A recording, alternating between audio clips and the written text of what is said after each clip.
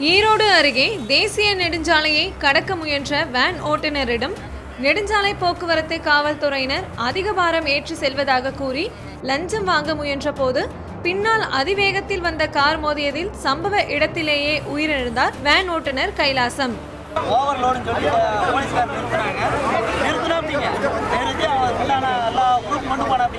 அதுவும் மீறி நீ பணம் முந்நூறுரூவா கட்டி போனோம் அவரும் எங்க தான் இருக்குதுங்க ரோடு பக்கத்தில் தான் அப்படிங்க நீங்கள் நான் நூறுரூவா கொடுத்துட்றேன் அப்படின்னா அதாவது அவர் போலீஸ்கார் வாங்கிட்டு வந்தாங்க. மூணு பேர் வந்தாங்க.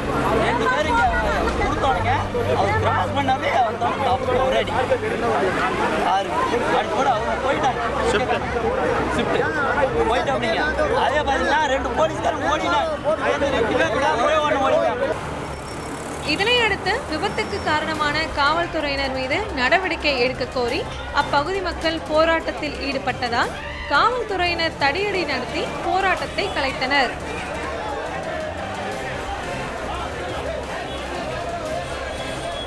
ரெட்பிக்ஸ் செய்திக்குழு ரெட்பிக்ஸ் நியூஸ்.